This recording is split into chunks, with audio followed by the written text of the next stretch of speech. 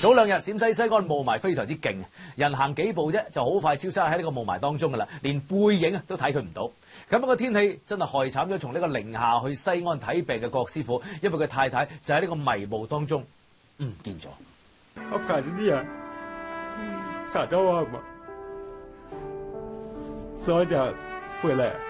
令到郭师傅日思夜想嘅系自己嘅妻子马玉芳，两人从宁夏嚟到西安为妻子睇病，但系病未睇好人却唔见咗啦。第二天早晨，中国列车退方送医院给个猫，他就出去了，来三十分钟，每天就半夜打疼，我出去一看，就是看不见人。十一月二十九号早上，成个西安被雾霾笼罩，能见度非常低。虽然郭师傅第一时间冲出去寻找，但系妻子仲系消失迷雾当中。天天十点多出。啊，早晨十点多，早晨十点多出来到现在，没见过，连矿卫巾。郭师傅话，因为家境唔好，一直都系佢在外打工补贴家用，月收入亦都只有两千零蚊。原本妻子亦都系同佢一齐外出打工，估唔到佢嘅精神状况有啲异常。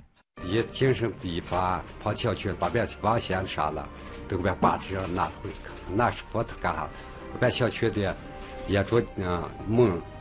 大约冇俾人炸毁啊！为咗尽快搵到郭师傅嘅妻子，亲戚们亦都纷纷伸出援手，但系面对眼前呢个陌生嘅城市，大家头都大埋。我们到这边也不熟悉，走到哪点就转向。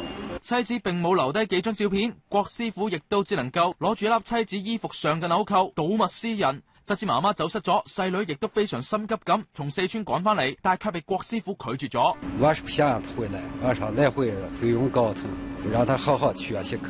目前郭师傅已经报咗警，警方正在做进一步调查。